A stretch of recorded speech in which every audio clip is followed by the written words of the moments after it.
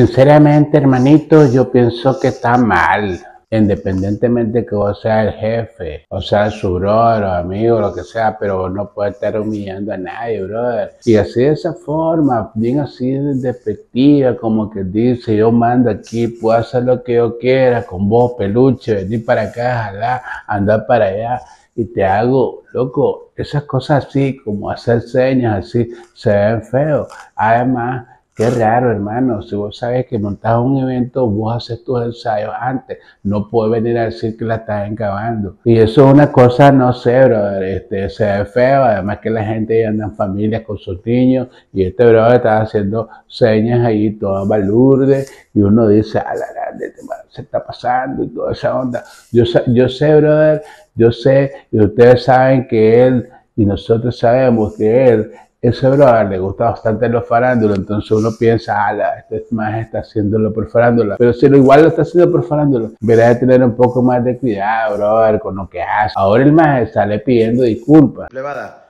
ustedes ya saben cómo soy yo. Los que han ido a mis conciertos saben que pues obviamente es un desmadre que hacemos. Todo mi equipo, tanto los ingenieros, tanto el staff, saben que así nos llevamos. Nos llevamos, ese soy, es parte del show ok, aquí el video se saca de contexto, que dice que yo estoy imputado con el vato, que no sé qué, pero ustedes no se acuerdan, o no, o no sé si no me siguen mis historias, que yo comparto comidas con ellos, que yo he ganado mucho dinero y les regalo 5 mil dólares a cada uno. Ahí busquen los videos ustedes. Pero al final del día somos compas. Todo mi equipo somos compas, güey. Nadie de ustedes sabe, nadie de ustedes está 24-7 con nosotros, viviendo todo lo que vivimos nosotros.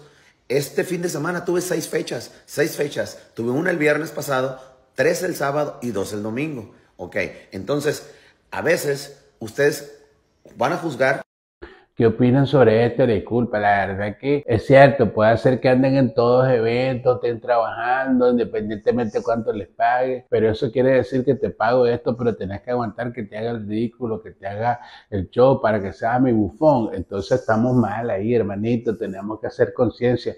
No podemos decir porque a ah, loco pasamos todo el tiempo porque somos amigos, eso es un abuso. Además, no puedes andar haciendo eso. Yo sé que el brother la cagó, la cagó, la cagó porque él no tenía que hacer eso pero hay que pensar un poquito más las cosas, brother. A veces nos, dejamos llevar del enojo y esto lo está pasando, brother, porque no solo allí quedó, sino que se puso a comentarle a la gente que le escribe en Facebook y en sus páginas, no sé qué lo que era. Hernández pide disculpas, dice que ya va a cambiar, pero se sigue agarrando súper feo con sus seguidores es por eso que a través de sus redes sociales publica el siguiente mensaje en donde agrega que se siente mal. Damas y caballeros, buenos días. A veces reacciono sin pensar en lo que digo y hago. He fallado y no necesito que me lo recuerden para ser consciente de eso. Quizás no me puedan perdonar ahora. Si creen que es lo correcto hacerlo o no, cualquiera que sea su decisión la aceptaré. Todos en algún punto de nuestras vidas. Estaba reflexionando en lo que hice y solo sé que el perdón no cambiará el pasado, pero sí el futuro en donde Dios me dará fortaleza para ser mejor. Gracias, gracias, gracias. Sin embargo, los usuarios empezaron a comentar sus disculpas en donde le ponen, esas palabras no parecen mucho de ti, Larry. Ya como viste que sí tienen consecuencias tus actos, pues el cantante responde, ¿cómo quieres que las escriba? Con pone una mala palabra, más si estás viendo que qué delicada es la gente y tú pides que escriba como soy. No, señor, no todo es como el artista arriba del escenario. Hay este momento de reflexión y del ser humano que soy. La gente empieza a comentar sobre ese comentario y le dicen limosnero y con garrote, ya ven que no va a cambiar.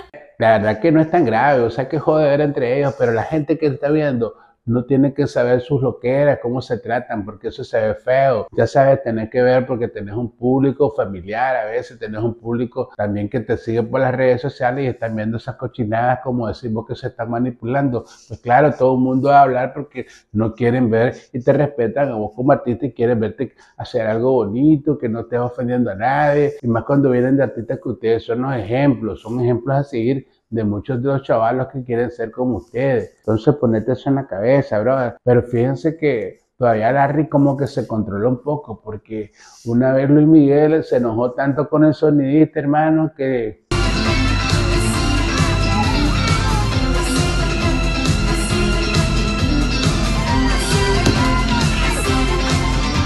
Imagínate, Luis Miguel no se controló. Así les pasa a ustedes, hermano. Tenemos que tener un poco más de sosiego, tener un poco más de cordura. Yo sé que en esos momentos uno quiere dar el mejor espectáculo, pero no podemos. Nosotros tenemos que pensar también que esa gente está teniendo problemas. tenemos que tener un poco de conciencia de que todas las personas valen igual, independientemente que haga sonido, que sea el que vende la entrada, que ande manejando, que sea el conductor. Todas esas personas, todas merecen respeto, perrito.